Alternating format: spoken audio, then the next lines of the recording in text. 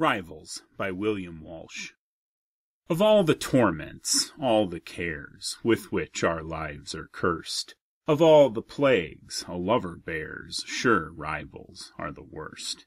By partners in each other kind, Afflictions easier grow; In love alone we hate to find Companions of our woe.